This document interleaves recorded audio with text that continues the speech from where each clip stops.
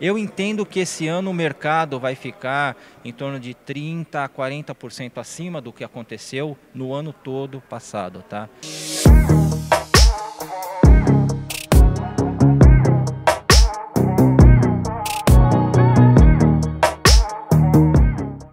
Bem-vindos a mais um vídeo do Autocan TV. Hoje estamos na Mercedes, mas antes de falar do que está acontecendo aqui, eu quero convidar você. Deixe seu curtir, se inscreva no nosso canal, indique os nossos vídeos para os seus colegas. Isso vai ajudar muito no nosso trabalho. Hoje aqui nós vamos falar de mercado. E eu convido vocês a ficar por quê? A nossa revista impressa, a revista Jornalto, irá tratar de um tema muito importante para a economia do nosso país. Nós vamos falar da transferência e distribuição de produtos nos centros comerciais pelo Brasil todo. E isso é um termômetro muito importante para saber o que está acontecendo na economia. E aqui na Mercedes eles trouxeram números muito interessantes de vendas de veículos de 3,5 a 5 toneladas, que é justamente esses veículos que atendem esse mercado de distribuição urbana. Então fique com a gente, porque eu tenho um especialista aqui do mercado para falar com vocês. Estou agora com Jefferson Ferrares, ele é diretor de vendas e marketing aqui da Mercedes-Benz. Tudo bem, Jefferson? Obrigado por falar com a Autocan TV. Obrigado, eu que agradeço a sua presença aqui. Vamos falar rapidinho da novidade que hoje nós temos aqui naquela van de passageiro. É, a novidade aqui é um assento que ele é automatizado para acessibilidade, tá? Vocês podem ver aí no vídeo, tá? Que você com um comando automático de dentro do carro mesmo ou de fora, aí depende de quem está conduzindo, o assento ele se desloca e ele vai até o, o nível do piso para que o cadeirante possa entrar sem nenhum problema, com extrema facilidade. E o assento ele traz para dentro do salão do veículo em segurança e a pessoa fica ali até o momento de poder sair novamente do carro. Isso é uma preocupação muito grande da Mercedes com alguns implementadores parceiros nossos em trazer essa solução já para o mercado. Então o cliente ele pode, é, num concessionário nosso, é, adquirir já esse produto, porque o concessionário ele tem a plena condição de já poder prover para ele essa solução conjunta para esses clientes. Tá? É uma, eu acho que é importante a gente despertar cada vez mais para esse tipo de usuário, porque eles precisam ter esse tipo de condição para acessar os nossos produtos. Agora vamos falar um pouquinho de mercado.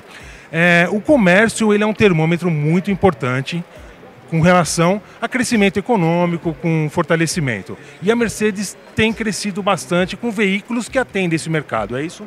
É, esse segmento de large vans, que são os veículos de 3,5 a 5 toneladas que nós temos, é, seja no transporte de pessoas ou transporte de carga com o furgão ou com chassi cabinado, ele é um segmento que ele é basicamente movimentado pela atividade de comércio que acontece no Brasil, né?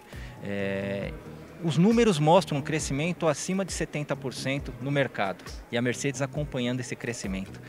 E grande parte, pelo menos metade desse, desse, desse crescimento se dá no varejo o cliente de varejo.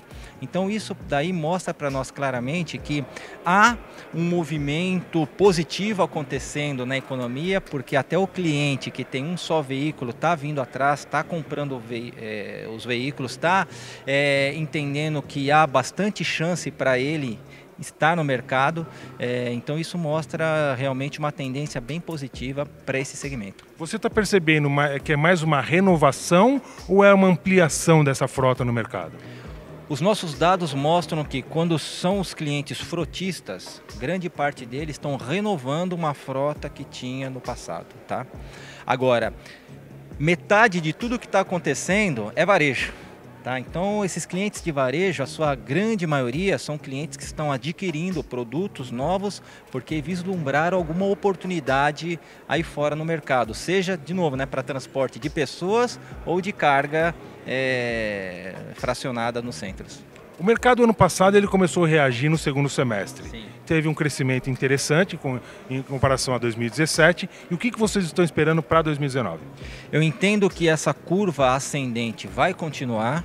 Tá? O segundo semestre deste ano vai, vai dar uma base melhor para a gente comparar com tudo o que aconteceu no ano passado. Você disse bem, o segundo semestre do ano passado é quando começou essa curva mais positiva da economia. Eu entendo que esse ano o mercado vai ficar em torno de 30% a 40% acima do que aconteceu no ano todo passado. Tá?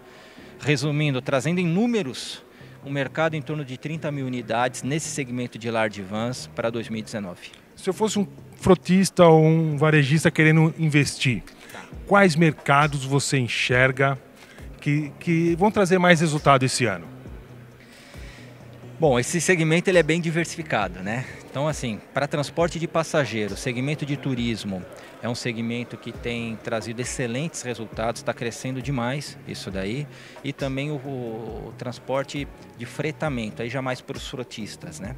É, mas para o varejo, o transporte de turismo está muito forte, muito forte mesmo, tá? O segmento escolar, que nunca para, né? Uhum. Agora, no transporte de carga, o e-commerce tem movimentado bastante essa economia, tá? Então, cada vez mais o, o, o e-commerce ele puxa a necessidade de fazer transporte fracionado de cargas. E aí esses veículos menores são veículos comerciais, mas que têm livre circulação nos grandes centros, são ideais e é onde a gente tem vislumbrado um grande crescimento aí de mercado. O mercado ano passado fechou com 23 mil unidades, mais ou menos. A Mercedes vendeu 8.300. Esse ano a expectativa é de 30 mil unidades e a Mercedes espera emplacar um pouco mais de 10 mil. E até a metade do ano, agora, de janeiro a junho, fechou com um pouco mais de 5 mil unidades. Então é isso. Se você gostou do nosso vídeo, deixa o seu curtir, se inscreva no nosso canal, fique com a gente. Até o próximo vídeo.